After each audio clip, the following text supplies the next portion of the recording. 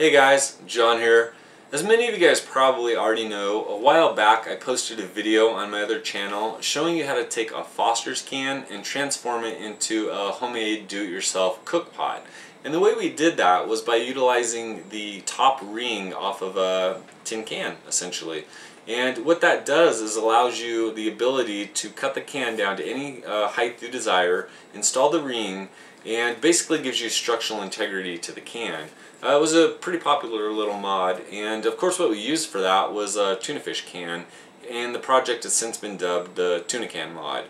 I have no idea why, but anyway, all kidding aside, what I wanted to do today was to take that a step further and show you guys how to make a customized lid for that pot if you've decided to make one yourself. Now, what a lot of guys will do is take something, you know, just like a piece of tin foil and fashion a makeshift lid for your pot. And absolutely nothing wrong with that. It works great. Nice and lightweight, easy to find. Uh, you keep spare tin foil, you always got your lid. So uh, there's that. But what I wanted to show you, like I said, was how to make a customized lid, such as this one. As you can see on this one, we are rocking the Monster logo, which is cool. I don't know why, but I think it's cool.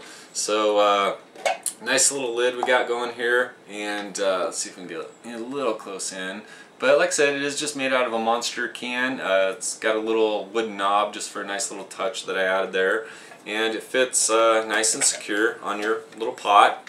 Will not come off. Uh, and it's uh, really lightweight, so you really can't beat it.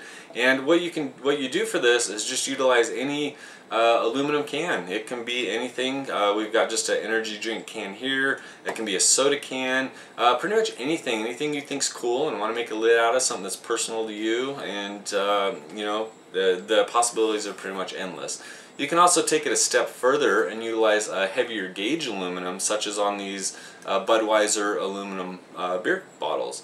And just gives you a little bit more uh, sturdiness to your lid. Um, you know, it's basically a personal preference. I kind of like these uh, aluminum can lids myself because they're just a little bit more lightweight and you know easy to replace uh, you know things like that so anyway let's get on to this little project here there's not going to be much to it so don't get too excited it's really simple Alright, to make yourself one of these customized lids, the first thing that you're going to need is an aluminum can of course.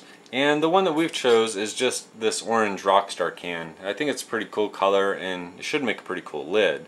And what you're going to want to do is take some scissors and cut out the portion that you're going to use, uh, making sure that you have enough excess.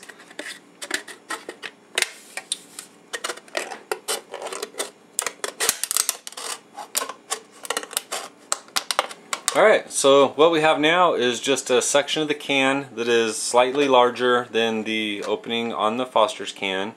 And what I've done is taken this section and just ran it across the uh, edge of a countertop to kind of flatten it out a little bit, okay? So we're starting with that.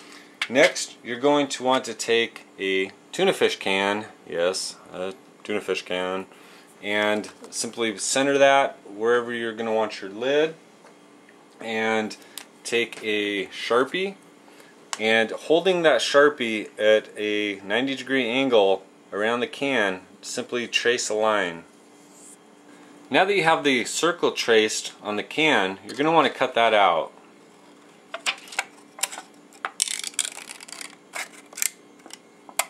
Now that you have the circle cut from the portion of your aluminum can that you'll be using, you'll simply take two tuna fish cans Set that circle directly in the center.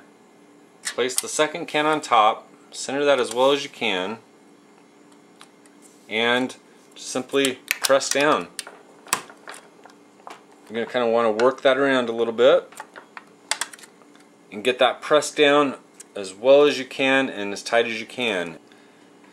Okay, now that you have those pressed together nice and firmly, you're going to end up with a depression in the lip of the can which fits down inside the tuner ring, which ironically is the same thing that you use for your pot. So that's going to fit down in there nice once you're done. Go ahead and place these two back together. I actually just took them apart to demonstrate that to you guys. Go ahead and take something like this uh, butter knife that I have here. You can use pretty much anything. And start working down the edge of that lip that extends out. go ahead and work that down all the way around the edge of the can.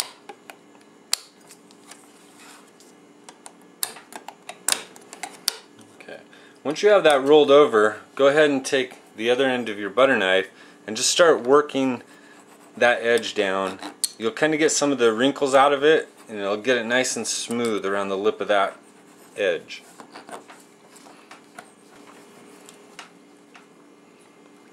Alright, well there we go. Let's see what we have here.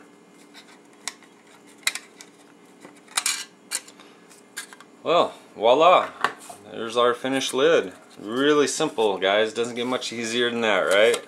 And fits nice and secure right onto your Foster's pot.